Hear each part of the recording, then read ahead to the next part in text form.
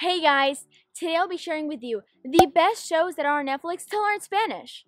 I already have a video for English and for French. When I posted those videos, you guys requested another one, but for Spanish. So that is what I have for you today. I will include the link down below in the description box and in the information icon up here to my playlist for Spanish learners. The shows that I'll be talking about today are for all levels and I will be talking about shows that belong to different genres. Before we start, don't forget to like and subscribe. That way you get notified whenever I post a new Spanish video.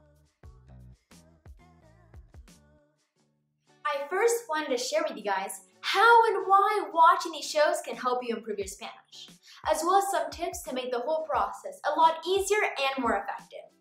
So watching these shows can help you because you're going to be able to hear Spanish slang and common phrases.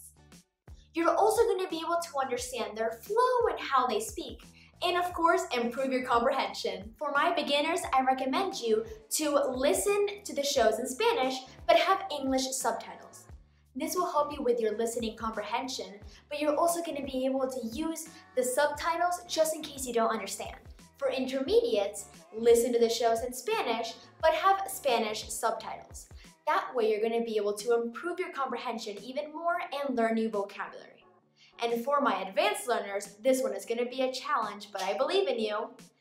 Listen to the shows in Spanish, but have zero subtitles. This can be complicated, but full immersion is the best way to learn. Número uno.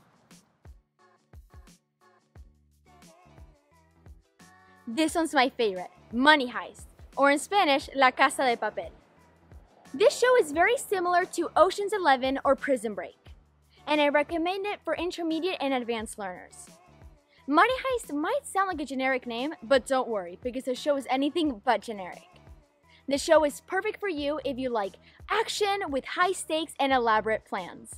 Money Heist is one of the best foreign language series that I've ever seen. It's about these eight robbers who have an ambitious plan to print billions of euros in the Royal Mint of Spain. El Profesor is the mastermind behind these eight robbers, who they each have different code names, which are all cities. All of the characters speak very clearly, and they use a lot of Spanish slang, expressions, and jokes, which is great. I'm still not sure if I were part of the team, which I mean, that would be super cool. I'm not sure if I would be called Miami, you know, because I'm from Miami, or Christmas Pie. I swear, guys, Christmas Pie is a city in England. Comment down below what you think would be, you know, more of a criminal name. Miami or Christmas Pie. Número dos. Cable Girls.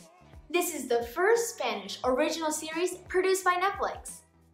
I recommend this show for intermediate or advanced learners. You're gonna hear European and Spanish accents. This show is perfect for you if you love female-led historical fiction shows that fight for equality. The show talks about all the challenges that these women had to face as working women. The show puts feminist issues front and center during its five seasons. I know, a lot. Juggling melodramatic storylines with affairs and romance with political subplots, some even involving the oncoming Spanish Civil War. This show is very similar to Marvelous Miss Maisel and The Boarding School. Let me share with you some vocabulary that you might hear and that are used very often. Trabajar, to work. Teléfono, telephone. Sigue tus sueños, follow your dreams. Mujeres independientes, independent women. And los derechos humanos, human rights. Número 3. Club de los Cuervos. I also recommend this show for intermediate or advanced learners. It's very similar to El Príncipe and you will hear a Mexican accent. This show has become incredibly popular since its release. The story is about these feuding siblings, Chava and Isabel Iglesias, after they inherit their late father's football team. I'm not a fan of football, but the show seems super interesting. The characters and storylines are developed with a playful humor that will have you giggling all the way through. I recommend it for learning Mexican slang. Número 4. Elite. This show is for people who love suspenseful prep school shows. This show was like a Gossip Girls turned into a Pretty Little Liars.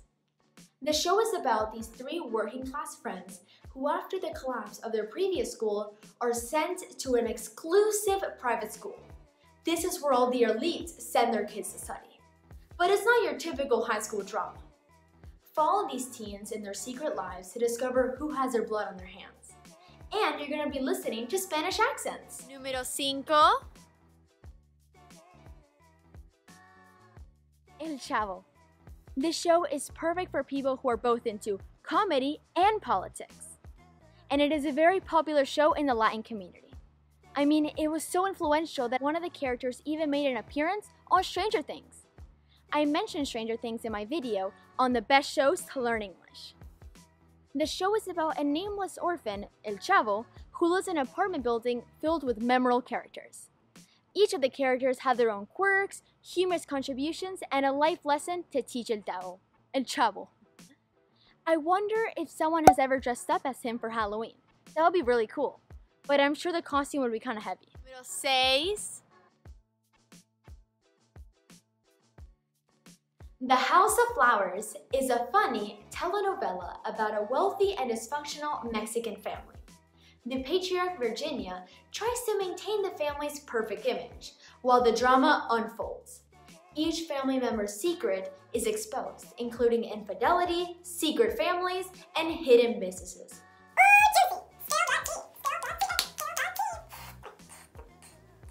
The show also discusses social inequality in contemporary Mexico. This is a great show to learn modern and useful Spanish vocabulary.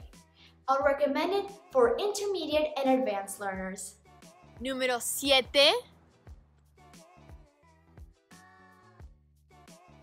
Nailed it, Mexico. Oh my god, I love this show so much. I'm always hungry after watching it. If you love the original version, Nailed It, I mean, how do you not? It's so funny that I am 100% sure you're gonna like the Mexican version. Home bakers try to recreate baking masterpieces, usually with amazingly disastrous results. Maybe they don't turn out the best, but you're gonna get hungry watching them make them. Número 8. If you're in the mood for a reality TV show, then I have the perfect one for you Made in Mexico. Reality TV shows are great because you're able to improve and train yourself to understand native Spanish speakers, as the conversations are a lot more natural compared to scripted TV shows. Made in Mexico is about as glossy as they come and very addictive. Get your popcorn ready. I know I do. Número 9. Estocolmo. If you want to sound like me and have an Argentinian accent, then this show is perfect. Though it can get challenging if you've never heard the accent before. This show is about these three people who join forces and try to an evil organization.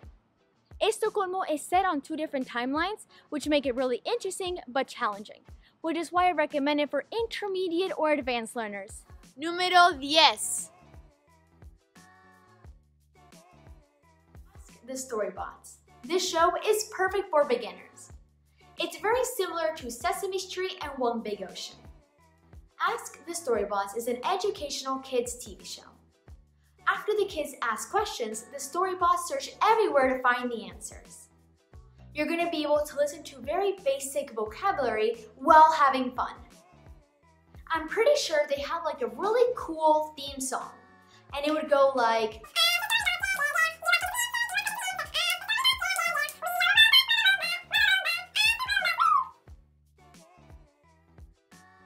guys, that's it for today's video. If you found it helpful, don't forget to like and subscribe. That way you get notified whenever I post a new language video. And comment down below if there are any shows that you're really excited to start watching. I'll see you guys next week. Adios!